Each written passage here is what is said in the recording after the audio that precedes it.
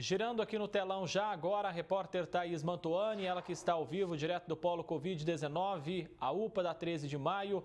Thaís, ótima tarde para você. Qual que é a movimentação aí nesta quinta-feira? Oi, André, boa tarde para você, para todos que assistem ao Jornal da Clube. Olha só, dá para ser um pouco otimista quando a gente vem aqui para frente do polo Covid, a UPA da 13 de maio, e não encontra nenhuma fila.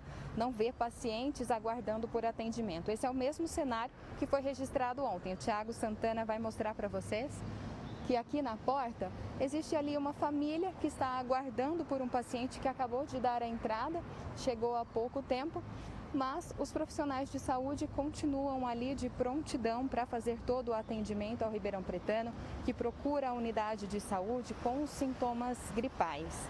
A ocupação de leitos aqui para a cidade de Ribeirão Preto está em 92,68%. Esses são os leitos de UTI Covid.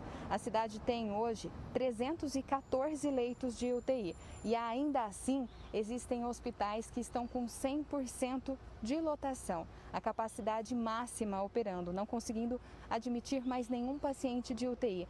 Entre eles, o Hospital São Paulo, Santa Lídia e a Santa Casa. Em relação aos leitos de enfermaria, a ocupação segundo a plataforma leitoscovid.org, é de 77%.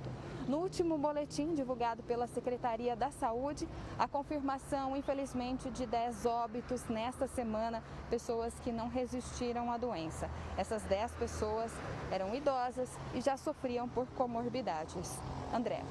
Obrigado, Thaís Mantuani, atualizando a situação então da pandemia ao vivo aqui no Jornal da Clube. Obrigado pelas suas informações.